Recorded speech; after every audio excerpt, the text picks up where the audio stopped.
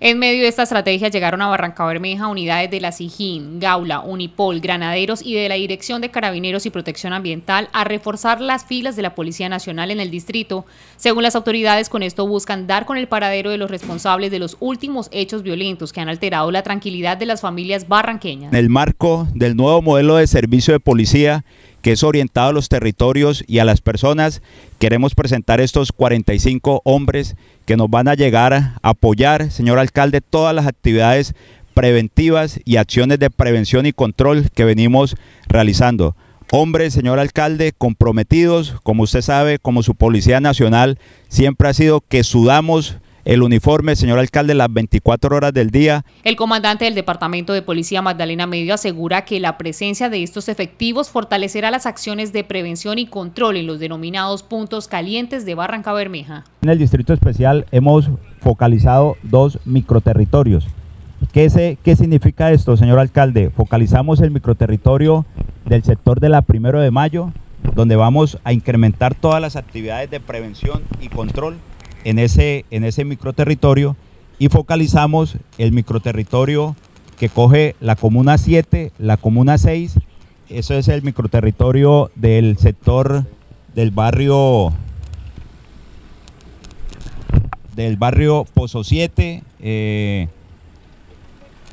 el sector del Parque de los Guanábanos, son dos microterritorios que estamos en estos momentos enfocando a trabajar. Y vamos a, a reactivar nuevamente nuestra antigua policía comunitaria.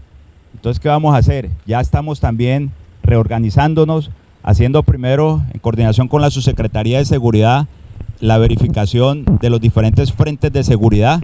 la reactivación de algunos frentes de seguridad que se encontraban, que eh, nuestros ciudadanos eh, los tenían, no estábamos trabajando en el marco del frente de seguridad, ya lo estamos nuevamente reactivando y vamos a llevar a estos, a estos uniformados a que sean más cercanos al ciudadano, a que lleguen a las diferentes residencias, a que hablen con los tenderos, a, que hablen con los presidentes de Junta de Acción Comunal, a que intervengan los diferentes parques. Asimismo, el alcalde distrital agregó que las cifras de actos delictivos han disminuido gracias a las estrategias implementadas, donde ha sido clave el uso del circuito cerrado de televisión que cuenta con 132 cámaras de seguridad instaladas para el Sistema Integrado de Emergencias y Seguridad de Barranca Bermeja, CIE. Con esas 132 cámaras del circuito cerrado de televisión, y también quiero aquí destacar su compromiso con el incremento de estas cámaras, con, la, con el proyecto que lo estamos ya construyendo, el C4, que nos va a ayudar a incrementar el número de cámaras. Y este, en las últimas 72 horas hemos realizado tres capturas